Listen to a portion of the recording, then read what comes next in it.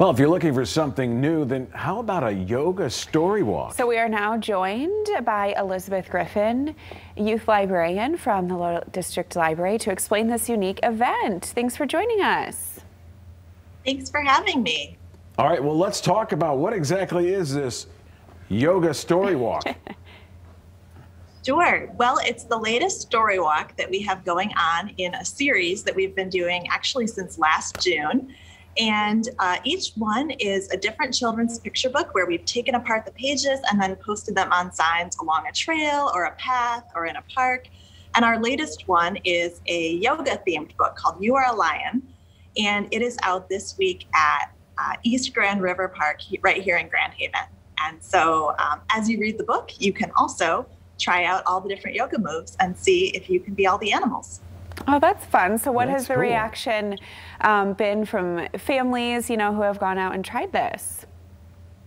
Yeah, so overall, our story walks have been very popular. The reaction that we've gotten most is that people just want to see more of them. And so we um, are doing two a month all through the spring, through the summer, hopefully into fall, and just trying to expand them all over our service area here in Grand Haven. And of course, I know that the library gets awfully busy when summer comes. Kids are out of school and they're, they want to find books and all that. What kind of programs do you have set up for the summer? Sure. So we will be starting our summer reading program, our summer reading club, which kicks off June 7th, although sign up is available right now. Uh, where you can read and get prizes. We're actually just keeping track of the days you read, so trying to build a reading habit. We're also going to have fun events here at the library and also virtually.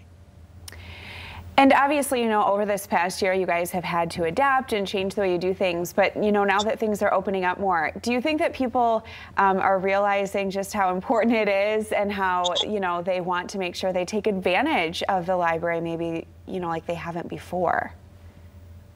Um, definitely. People have been very excited to get back into the library to be able to browse. We've offered curbside even when we've been closed, and so we've been able to still provide library services that way.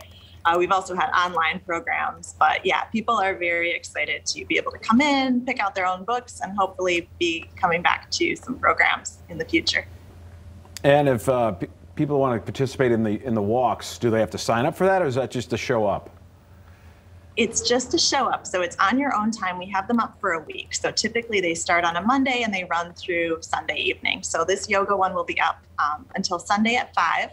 And so they can do it on, on their own time at their own pace. So it's a really nice socially distanced option where people can get out and get some exercise and read a book and have some fun.